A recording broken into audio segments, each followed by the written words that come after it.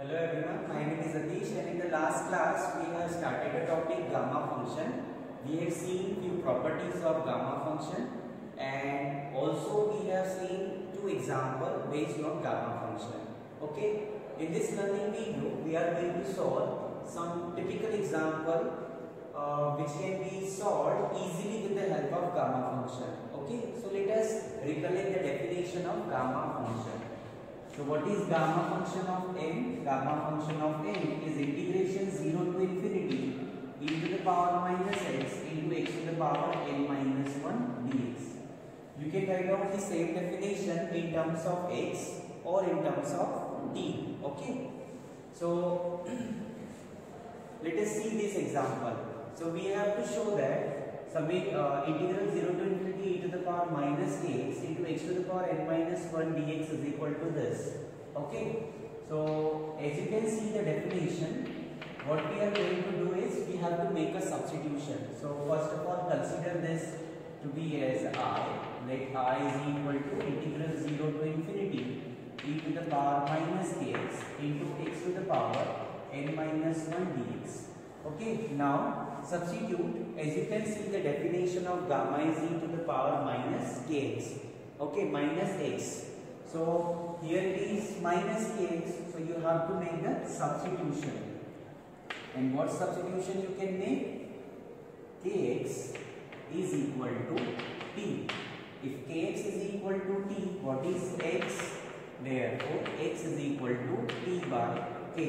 And the derivative of this is dx is equal to dt upon k. Okay.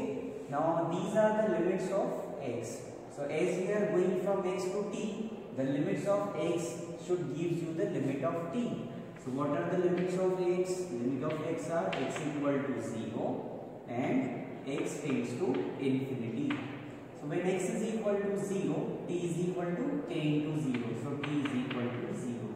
When x tends to infinity, t tends to infinity because some scalar times infinity is infinity.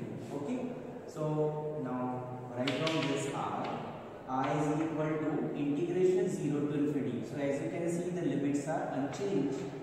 Integration 0 to infinity e to the power minus t into what is x? x is t by k so t by k to the power n minus 1 dx and what is dx?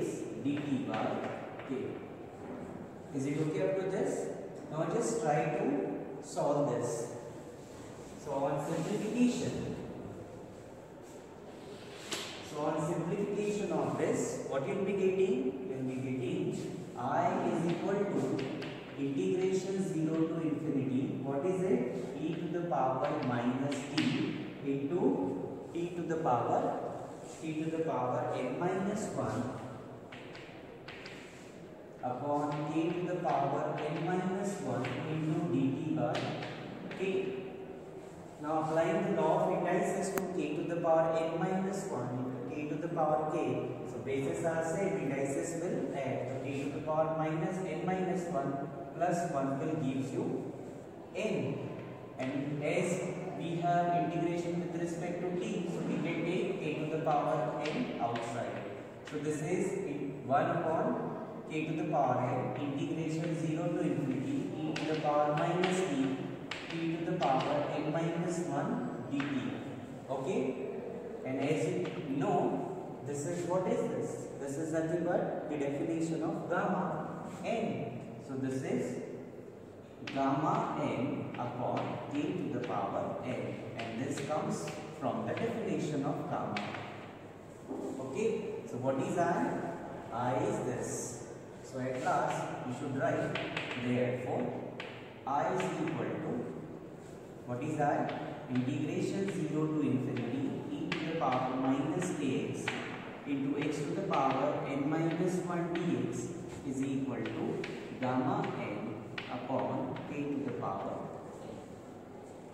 So this is a very simple proof of this result.